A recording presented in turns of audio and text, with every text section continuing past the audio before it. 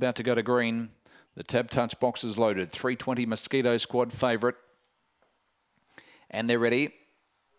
And racing, Mosquito Squad jump quickly on the inside. A lot of cash also shows early speed in between runners. Vic Gundy, Crichton Notable got checked off heels, then followed by Kelton Escobar, Maxi Rhythm and Darby Manelli off the back. Mosquito Squad held the lead out by two and a half lengths, rallying through Kelton Escobar, then followed in turn behind them by Vic Gundy and a lot of cash around the corner. Mosquito Squad wobbled wide but goes on and scores by length. Second goes to Vic Gundy, third in a lot of cash, and then followed by Kelton Escobar, Darby Manelli, well back Maxi Rhythm and Crichton Notable at the rear.